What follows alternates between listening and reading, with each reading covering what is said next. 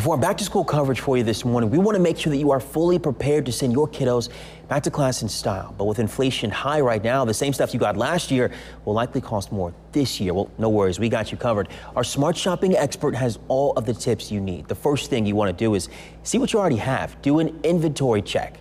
Also, most schools give you a list of what your child needs. Our shopping expert recommends getting those items first. Now, some schools may even require you to buy a laptop for your child. And if that's not in your budget this year, look online for a refurbished one to get a good deal.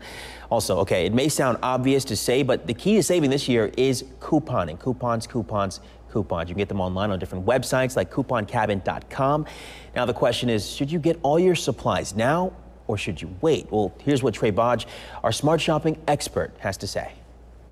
I say if you find sales on things that on your list, you should buy them now. But I also do say to reserve a little bit of your clothing budget if possible, simply because your kids might go to school and then sense that a trend is happening and they may want to get in on that trend. And then what you'll have is a child coming home asking for additional things. So if you save a little bit of money in your clothing budget, you'll be happy you did. Some good advice right there. And get this, Bodge says you can save up to 40% if you buy in bulk, especially if you have multiple children. All right, now something else to think about. Is it better to shop online or in stores with inflation this high? Now, it's not actually what you might think. Our shopping expert is going to break it down for you in our next half hour, so stick around.